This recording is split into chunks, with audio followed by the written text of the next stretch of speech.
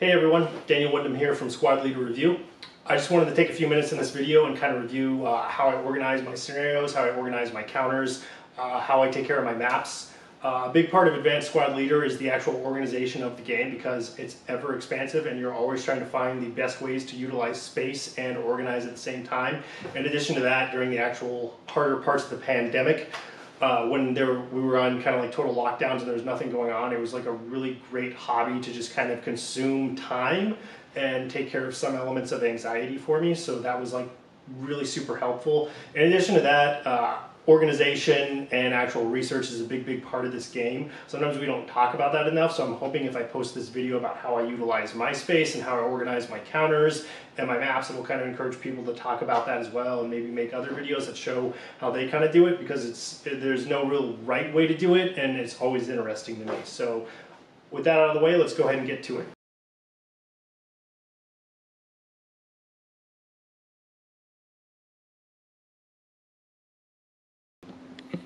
So, um, I'm trying to give you all a view of my space and what I have to utilize. As you can tell, I actually play out of my garage. I generally don't like play squad leader here per se, but I'll do video games, work on electronics, and I do a lot of the organization here. Uh, the space is incredibly small, so I have to do a lot of modularization to make things work. So with that in mind, I'll turn the camera off again real quick and we will kind of zoom in on, well, I don't need to turn it off. We'll just kind of take a look here and uh, this is where the squad leader stuff kind of lives right there and uh, we'll go in and take another look. So this shelf that you're looking at right here, this is my advanced squad leader shelf. This is where my scenarios live. This is where a good deal of my maps are. As you can see, I actually have the original Avalon Hill Advanced Squad Leader rulebook, and then I have the MMP second edition. So the Advanced Squad Leader rulebook from Avalon Hill is actually what holds my Chapter H, known as Weapons Ar Armaments, and then I have the ASL second edition rulebook that I actually use when I play. Uh, a couple months ago, actually, all that was in a huge 1000 plus three ring binder. I decided it was better to just kind of segment what I had, uh, making it easier to reference and organize. So here in mass is just part of all my counters. I actually use um, bead holders from Walmart. Uh, they were $9 a pop. Now they're probably around 10 to 12 due to inflation. They hold 32 uh, separate containers each, which is ideal for a lot of different armies for Advanced Squad Leader. You can actually see here that I've labeled on the side what is what. The reason I did this is um, I wanted like a lot of uniformity, especially when I need to quickly grab stuff and go or if I'm traveling in a car, I want to know what I need to grab so I can have it all together and just be done with it. You know, the more time I have to spend organizing is always less time you have to play. So I'm a big believer in thoroughly organizing everything that you can as long as you've got the time, space, and money to do it. As I mentioned earlier, everything is kind of a module in a very, very small space. So if I'm going to show you guys these counter holders, I'm going to have to clean some stuff up real quick.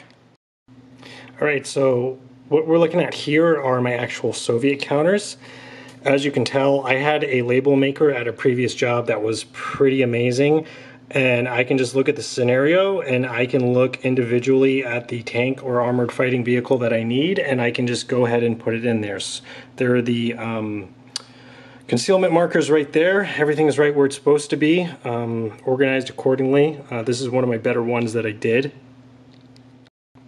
Here we have the German German armored fighting vehicles uh, listed in their 32 um, counter holder. You know, I'm gonna go ahead and say it. I think maybe we could have done with like less German armor. I'm not sure when they updated Beyond Valor if they added more tanks in or not. I haven't gone and like compared the Chapter H notes between both but I think it'd be a fine game with a little less to organize because even with this current system, I feel like down down the line, I'm probably going to buy four or five more of these counters, counter holders at about 12 bucks a pop and get this a little better organized. But once again, like if you need, you know, the Pan, the Panzer VD, it's just right there. You don't have to look around. You don't have to waste time. what we're looking at here kind of zoomed out is my entire uh, Cold War Vietnam Advanced Squad Leader um, selection. Because I know not too many people are probably going to have an interest in playing these with me, I have combined a lot of the Allied forces together whenever possible. Um, this just kind of allowed me to save some space. Kind of want to show some other things of highlights. So uh, the Vietnam War includes helicopters, so I've actually taken um, all the helicopter chits from all the critical hit um, games and just kind of put it into one uh, modular thing. I also own French Algeria, so the French helicopters uh, from that war are uh, and conflict are also, you know, in here. Uh, once again, the um, I wanted to show this actually, which is really uh, I think is a great way to organize. Is you can see uh, my single man counters. I have two of them. I have single man counter minus and single man counter plus. So when you need those from the scenarios, you can always find them. And then I have my heroes as well, all um, listed to be easily found if they're required in the scenario or if you get one in heat of battle. So I think is a really smart way to do it. Once again, you know, the more organized you are with your counters, the less time you have to spend trying to set stuff up for a scenario. Um, over here, you just kind of got a lot of stuff that came with the Vietnam scenarios and in particular Dien Bien Phu. Um, if I can find them real quick, I have more M42 tanks than uh, I know what to do with. Uh, they are in, uh, they're played a heavy, heavy part in the Vietnam War all the way up near the end. Um, if anybody wants some, I could probably mail them out to you. So here's a selection of some of my maps. So every time I get a new Advanced Squad Leader module, before I even kind of take the counters apart or anything like that, or separate the new Chapter H or supplemental rules that come with it, is I go to Office Depot and I pay the money and I usually get a heavy cardstock lamination. Uh, the reason I do this is I have animals, I am clumsy, I spill coffee, uh, things happen and with this kind of plastic shielding you know this is kind of $100 paper in a way i don't really have to worry about about it being damaged I generally set up and organize things out of a garage. This guarantees like no moisture damage or anything like that. I have a cat who likes to play around sometimes, so this, you know, guarantees that it's going to be good to go. Um, like I said, I've collected a lot of maps for some of you more um, players that have just um, done the older squad leader stuff. Some of this might look particularly interesting to you. I've kind of shuffled them at random, so I can't name the numbers. I do know I just picked up Rising Sun, and I think the although the maps are like spatially the same for um, the MMP release and the Avalon Hill release, they are very just different looking maps. Uh, they have a whole different like kind of feel and, and vibe to them when when you get a hold of them. I think in here. Um, I actually do have a um, uh, uh, old Avalon Hill map. I'm going to see if I can shuffle down to it real quick.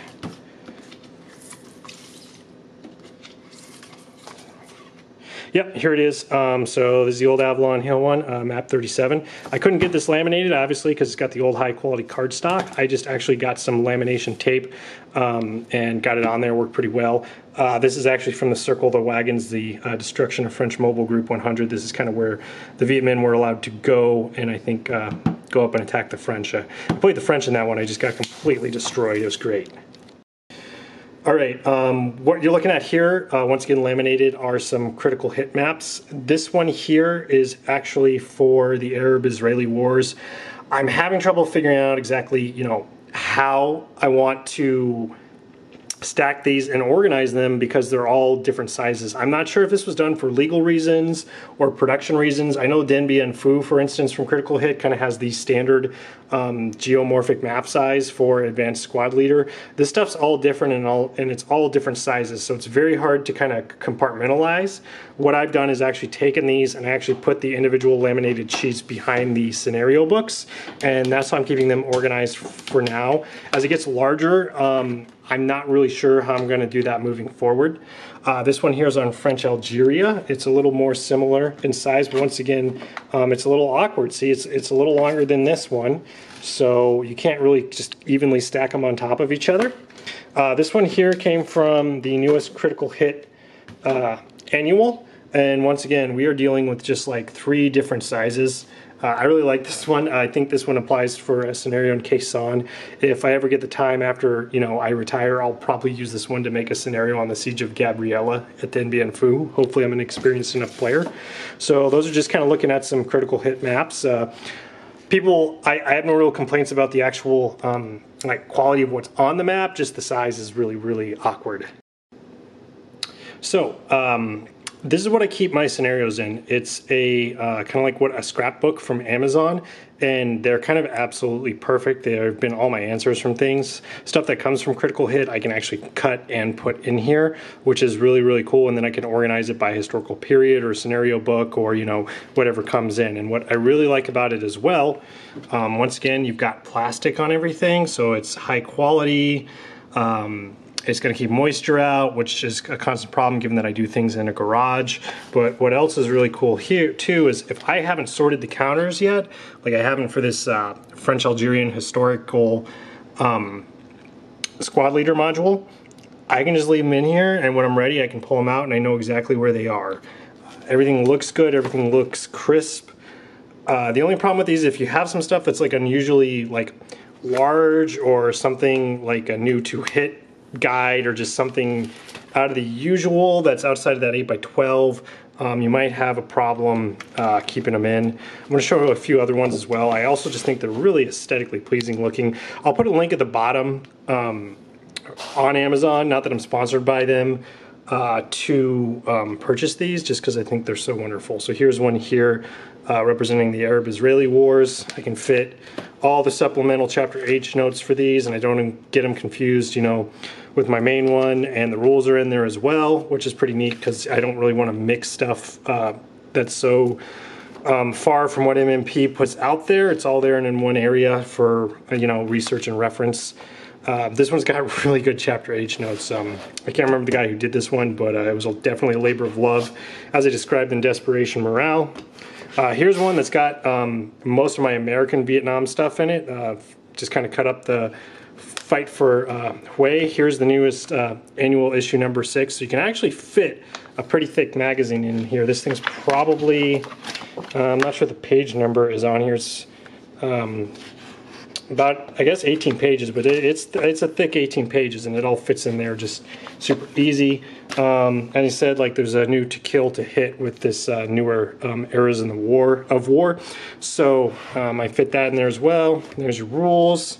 Scenarios easy to move in and out. Um, you got a top thing, none of it's permanently sealed or anything like that and just kind of go through it. And then on the back, I actually have room for another magazine, which is the one that came with the helicopter rules, annual issue one. So it all kind of fits into one, one module thing, not too much shoveling. I wanted to show one.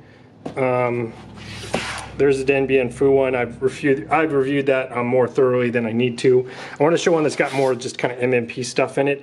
Uh, here's uh, Belgium, France, 1940. So there's just a bunch of scenarios uh, from that historical era. I just kind of got this photo from the internet and put it in there. It's really wonderful looking. Um, it's hard to find some good photos of the French looking like they're kicking butt in World War II. I sometimes wonder if the Germans burnt all those. Um, this is some critical hit stuff for um, uh, France 1940 Battle of Stonne.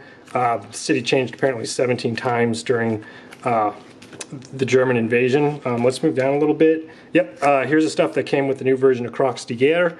Um, failure to communicate. A lot of stuff that comes with Croix de Guerre is uh, huge, huge um, uh, scenarios. A lot of them really big. Got some Belgium action going on.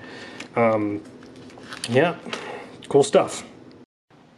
Like I said, I kind of wanted to make this more of a laid back, quick, easy video.